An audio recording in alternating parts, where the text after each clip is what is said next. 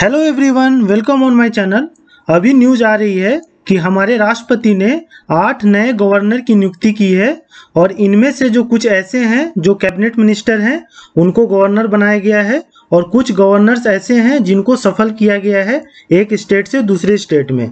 तो इस वीडियो में हम सभी चीज़ों को देखेंगे। सो वीडियो को स्टार्ट करते हैं हम और फ़र्स्ट क्वेश्चन देखते हैं। Who is appointed as the new governor of Goa Goa के नए गवर्नर किन्हें नियुक्त किया गया है? तो इसका सही आंसर क्या होगा? Option A P S Sreedharan Pillai. P S Sreedharan Pillai को गोवा का नया गवर्नर नियुक्त किया गया है। और इससे पहले पी एस श्रीधरन पिल्लई जो थे, वो कहाँ के गवर्नर थे? तो ये मिजोरम के गवर्नर थे। मिजोरम से इनको गोवा शिफ्ट किया गया है।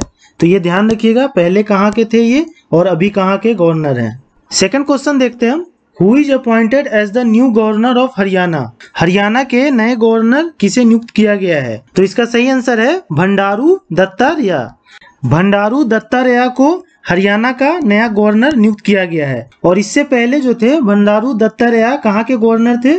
तो ये हिमाचल प्रदेश के गवर्नर थे. हिमाचल प्रदेश से इनको हरियाणा शिफ्ट किया गया है। तो ये भी ध्यान रखिएगा, पहले हिमाचल प्रदेश के थे और अभी जो है इन्हें हरियाणा का गवर्नर नियुक्त किया गया है। तीसरा क्वेश्चन देखते हैं हम। Who is appointed as the new governor of Himachal Pradesh Himachal Pradesh के नए गवर्नर किन्हें नियुक्त किया गया है? तो हिमाचल प्रदेश के भी पुराने गवर्नर कौन थे? भंडारू दत्तात्रेय थे और इन्हें कहाँ शिफ्ट किया गया है? हरियाणा शिफ्ट किया गया है। तो अभी जो नए गवर्नर है हिमाचल प्रदेश के, वो कौन बने हैं? तो इसका सही आंसर होगा ऑप्शन सी राजेंद्र अरलेकर। राजेंद्र अरलेकर जो हैं, अभी हिमाचल प्रदेश के नए गवर्नर बने हैं। चौथा क्वेश्चन देखते हैं हम। Who is appointed as the new governor of Jharkhand? Jharkhand के नए गवर्नर किन्हें नियुक्त किया गया है? तो इसका सही आंसर क्या होगा? ऑप्शन डी रमेश व्यास रमेश व्यास को जो है झारखंड का नया गवर्नर नियुक्त किया गया है। और इससे पहले जो थे, ये कहाँ के गवर्नर थे? त्रिपुरा के गवर्नर थे। तो त्रिपुरा से इनको झारखंड शिफ्ट किया गया है रमेश व्यास को। क्वेश्चन नंबर फाइव देखते हैं हम। Who is appointed as the new governor of Karnataka Karnataka के नए गवर्नर किन्हें नियुक्त किया गया है? तो इसका सही आंसर कौन सा होगा? Option A Thawar Gehlot.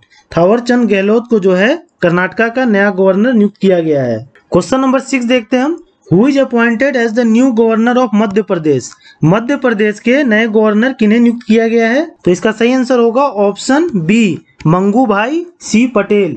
Mangu भाई सी पटेल को मध्य प्रदेश का नया गवर्नर नियुक्त किया गया है। क्वेश्चन नंबर सेवन देखते हैं। सेवन होगा ये।